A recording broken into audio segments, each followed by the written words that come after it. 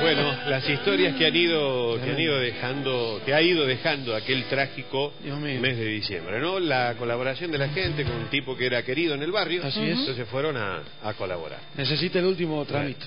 Eh, la- necesita el último trámite, digo. Eh, sí, la sí, le última falta, asistencia claro, para poder necesita- hacer, para poder hacer ahora el que techo, le- hacer la luz. que le tienen la última, la última piola. Sí.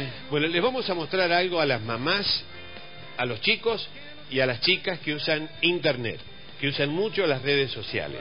El gobierno de Paraguay ha hecho un spot publicitario que me parece piola, ilustrativo, para que se vea el lado peligroso de Facebook y de todos esos lugares donde eh, se sube mucha imagen sin darse cuenta, sin saber, sin este, siquiera mensurar el riesgo que uno que uno puede que uno puede este, llegar a, a- a- Correr. a correr.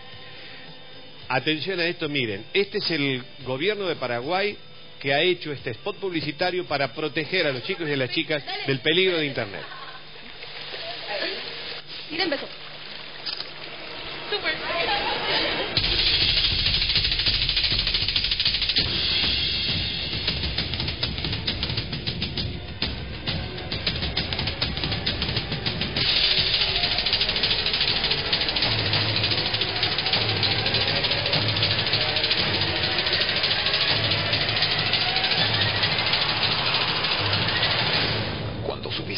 Internet, puede ir a parar a cualquier parte. Cuidado con lo que subís a internet. Bueno, está, me parece a mí fantástico. Muy bueno.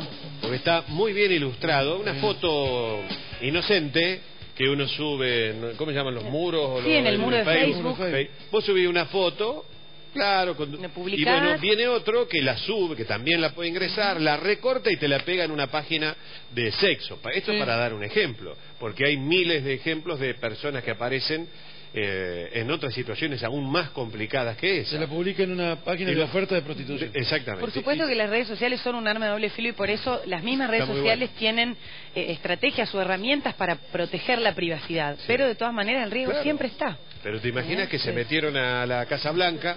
Claro, Este, mirá si no te van a meter en tu, Exacto. en tu Claro, cuenta de Facebook. Andy, vamos con tu móvil en vivo, te escuchamos adelante y te vemos, dale.